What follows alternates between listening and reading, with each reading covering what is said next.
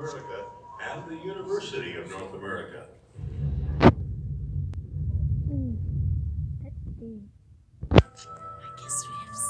These black hills are our, our big cathedral, our place of worship.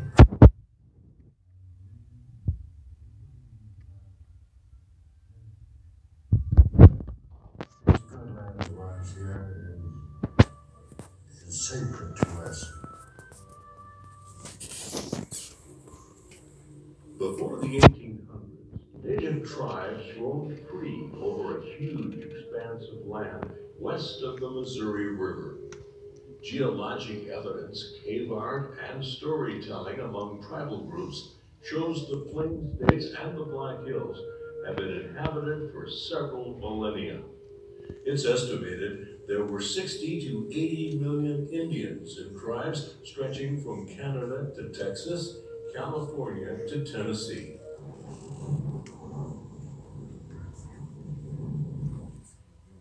The warrior Crazy Horse was born as a member of the Oglala Lakota tribe near Rapid Creek on the edge of the Black Hills about 1840 and grew up with the traditional ways of the Lakota, preparing him for his future life as a warrior for the tribe. As with tradition, he was not named Crazy Horse. He started out as Curly, possibly because he had wavy hair. Later, after he proved himself in battle, Curly earned his father's name, Crazy Horse, Kashunga Witko, which means his horse is crazy. Over the decades, there have been several old pictures that have been claimed to be an image of Crazy Horse. These have been investigated, and there is no known picture of Crazy Horse. Crazy Horse was said to have asked those who requested a photograph, Would you imprison my shadow too? Korczak said the features of his gigantic mountain carving descriptions from those who knew the great warrior, including survivors of the Battle of the Little Bighorn. Those who knew him described his character as introspective. Crazy Horse is said to have almost thought before speaking. Crazy Horse lost his mother as a boy and in his early teens witnessed an attack by the army on an Indian camp. It started as a misunderstanding over a stolen cow from a passing homesteader. As the years went on, approaching miners and settlers to the plains and the Black Hills triggered a number of Indian wars which lasted 23 years. When he was old enough, Crazy Horse set out on one of the most important rites of passage to a Lakota warrior, a vision quest, or Hamle Defined as crying for a vision. By his teens, Crazy Horse was a full-fledged warrior. Black Elk, a respected Indian elder, once said, it was a vision that gave Crazy Horse his great power, that he could not be hurt. In 1876, Crazy Horse led a band of Lakota warriors against Custer's 7th U.S. Cavalry Regiment. At the time, it was called the Battle of the Little Bighorn, or Custer's Last Stand. Some Native Americans call it the Battle of the Greasy Grass. Many Native Americans look on that battle as a victory over a much stronger force. After the battle, the U.S. government rounded up Northern Plains tribes that resisted. Crazy Horse continued to resist. And in 1877, under a flag of truce, Crazy Horse went to Fort Robinson, Nebraska. Negotiations broke down, possibly because of incorrect translation.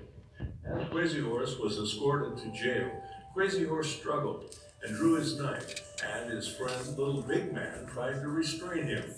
It's recorded that an infantry guard made a lunge with a bayonet and mortally wounded the great warrior.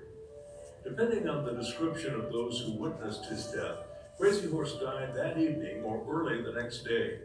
His parents transported him to his resting place, and the exact location is said to be a secret to this day. The next chapter of the Crazy Horse story begins with the birth of Standing Bear near Pierre, South Dakota, along the Missouri River, probably 1874. In his early teens, he became one of the first Native Americans to attend Carlisle Indian School in Pennsylvania, where he took on the name of Henry, chosen at random from a list of names. For most, all traces of their traditional Indian lives were suddenly and forcefully removed, beginning with the hair, which was cut short. Traditional clothing was removed and destroyed. Speaking the tribal language was punished severely with the intent to remake them into the image preferred by the leaders of the school. Results of this process varied over the decades as it was carried out in Indian boarding schools across the country.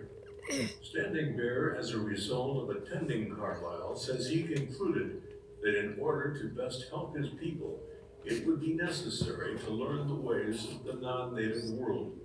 He began to develop leadership skills like public speaking and writing. He realized that the battle for cultural survival was no longer to be waged with weapons, but with words and ideas. He became a strong proponent of education. He attended college in Chicago while he worked for Sears Roebuck Company. As a result of his education and the willingness to engage the non-Indian world, he became heavily involved in the affairs of his people over the course of his life. There was another important story at about the same time, which in many ways seems to parallel the life of Henry Standing Bear.